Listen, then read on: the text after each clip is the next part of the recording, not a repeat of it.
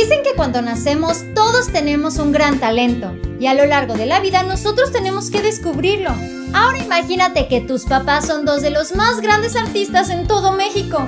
De que tienes talento, lo tienes. Ahora Geraldine Bazán está súper orgullosa del debut que acaba de hacer su hija mayor en la televisión. Parece que alguien ya le está pisando los talones a la hija de Andrea Legarreta y Eric Rubin. Este es el Muro de la Fama y aquí te platicaremos de toda la información. No te puedes perder de este video. ¡Bienvenidos!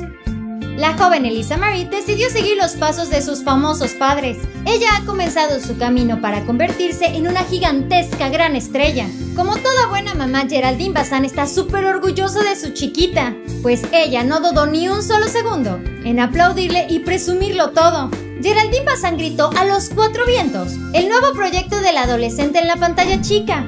A través de su cuenta oficial de Instagram, Geraldine Bazán subió una foto de Lisa Marie, peinándose previo a las grabaciones. La hija de Geraldine Bazán junto con Gabriel Soto participará en la producción llamada Si nos dejan, la nueva versión del melodrama Mirada de Mujer. Vale la pena mencionar esto porque en su momento Mirada de Mujer fue una de las telenovelas más exitosas por su parte, Geraldine Bazán se encuentra súper pendiente de los pasos de su hija, ya que a ver, ¿quién puede ser mejor para guiarte en este camino que una actriz que ya tiene varios años en esa misma carrera?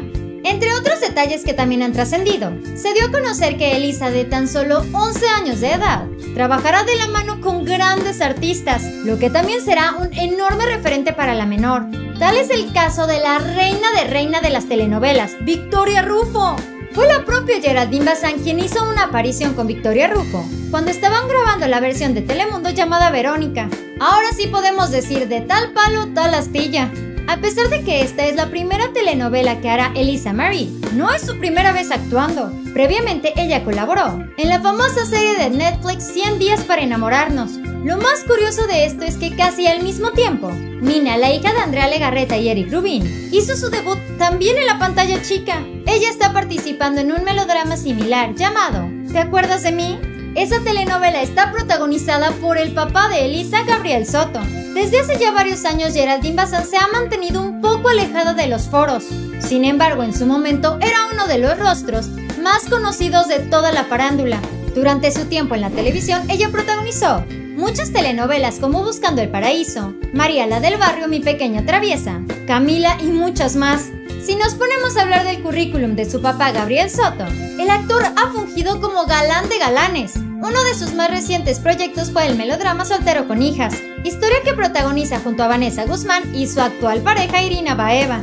Cuando se dio a conocer la noticia de que Elisa Marie participará en Si nos dejan, muchos seguidores nos emocionamos. Estás juntando el talento de dos grandes actores. En definitiva, no nos podemos perder de esa novela. Este fue el Muro de la Fama. No te vayas sin antes suscribirte a nuestro canal de YouTube dando clic aquí abajo, al igual que seguirnos en nuestra página en Facebook. Recuerda que estamos subiendo contenido todo el tiempo y para que lo sigas checando yo te recomiendo que veas este siguiente video. Espero que tengas un excelente día. Nos vemos muy pronto. Bye.